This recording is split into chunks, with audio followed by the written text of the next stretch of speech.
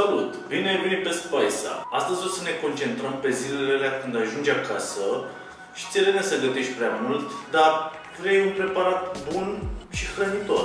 Astăzi îți voi arăta cum să faci un sos de roșii perfect pentru spaghete. E simplu, e ușor de făcut și rapid, foarte hrănitor. Pentru rețeta de astăzi ai nevoie de roșii pasate, roșii cuburi, o ceapă, un ardei iute, 3 căței de usturoi, parmezan, paghete sau ce paste preferi, busuioc și sare. Eu am un mic truc pentru acest sos.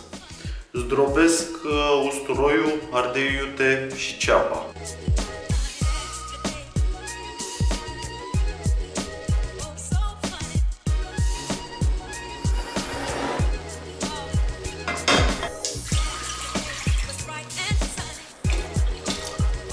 Va trebui să fierbi spaghetele până sunt al dente, nu trebuie să le fierbi până la capăt pentru că le vom adăuga în sosul de roșii la final.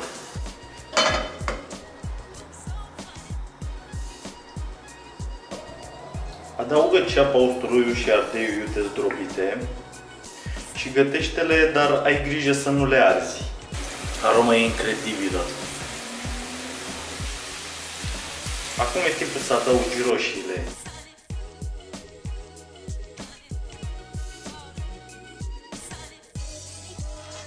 Într-o tigaie, sosul de roșii se va găti mult mai repede, având suprafața mai mare.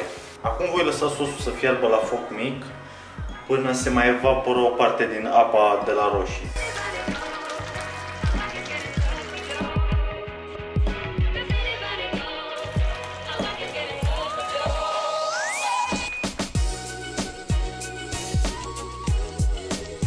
Acum trebuie să mai fiarbă pentru 2-3 minute cât să preia din gust și spaghetele.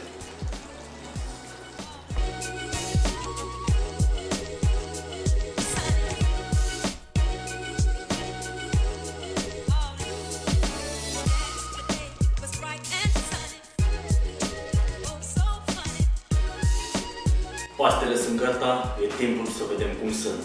Uite cum arată.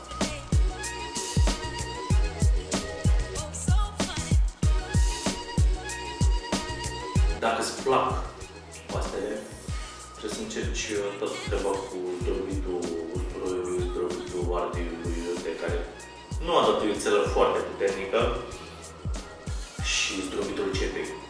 Ceapa de o aromă foarte bună, îi dă și o dulceață, să zicem. Sunt simple, dar sunt extraordinar de bune. Dacă ți-a plăcut rețeta de astăzi, nu uita să dai un like, să te abonezi, să activezi notificările ca să vezi și rețetele viitoare.